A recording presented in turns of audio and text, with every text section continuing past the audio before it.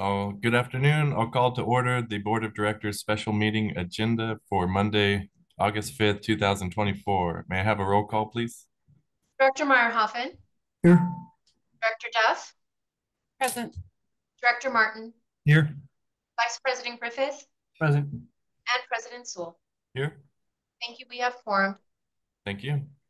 All five directors are present. We'll skip item three, moving on to item four, public input. This is the opportunity for members of the public to address the board on matters within the board's jurisdiction.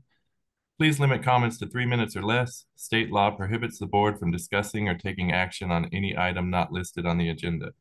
Do we have any members of the public wishing to address the board? President Sewell, we do not. Thank you.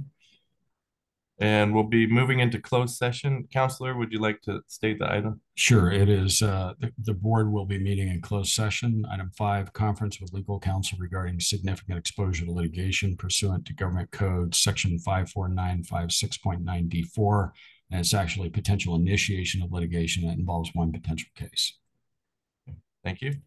And go ahead. Uh, We go into closed session, would it be inappropriate for us just to meet as the, the board with our attorney uh, without the upper management staff being present, or is that something you feel is necessary? I, I, I would like the opportunity to talk to the board directly. Let's, let's go into closed session. Okay. And we'll be doing that in this room? Yes, well, in this room. It's cooler here.